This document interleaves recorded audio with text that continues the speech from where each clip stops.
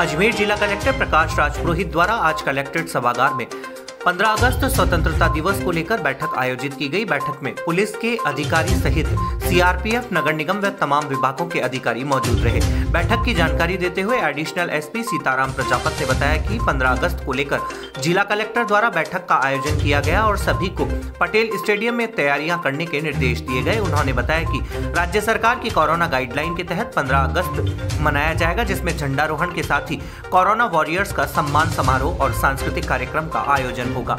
वहीं उन्होंने बताया कि इस बार भी कोरोना को देखते हुए सीनियर सिटीजन व बच्चों को शामिल नहीं किया गया है। आज कलेक्टर साहब की अध्यक्षता में पंद्रह अगस्त के संबंध में मीटिंग ली गई थी, जिसमें पुलिस विभाग के अधिकारी भी थे, सीआरपीएफ पीडब्ल्यूडी नगर निगम के अधिकारी और शिक्षा विभाग के अधिकारी भी उपस्थित हुए थे। और 15 अगस्त के संबंध में कलेक्टर साहब ने निर्देश ये दिए हैं कि कल से जो है इनकी तैयारियाँ शुरू हो जाएगी पटेल मैदान में। पंद्रह अगस्त का पर्व मनाया जाएगा और कोरोना गाइडलाइन को देखते हुए राज्य सरकार के जो निर्देश हैं, आदेश हैं, उनकी अनुपालना में पिछले वर्ष की भांति ही स्वतंत्रता दिवस का पर्व मनाया जाएगा।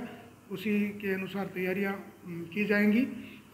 सीनियर सिटीज़न और स्टूडेंट्स, इनको जो इस कार्यक्रम में शामिल नहीं किया गया है, पिछले साल से एक कार्यक्रम इसमें एक एक्स्ट्रा जो है, वो ऐड किया गया, पुरस्कार वितरण, जो कोरोना वॉरियर्स जिन्होंने बढ़िया काम किया कोरोना के दौरान जो स्वास्थ्य कर्मी है, पुलिसकर्मी है सफ़ाई कर्मी है उनको प्रशस्ति पत्र वितरित भी किया जाएगा और पर्यटन विभाग की ओर से छोटा सा सांस्कृतिक कार्यक्रम आयोजित किया जाएगा और 15 अगस्त पर जो है वो परेड का आयोजन किया जाएगा, जिसमें पुलिस, सीआरपीएफ और स्काउट गाइड और ये सभी जो है, एनसीसी वगैरह ये सभी शामिल होंगे और हज़ार राउंड नौ बज के पाँच मिनट पर किया जाएगा।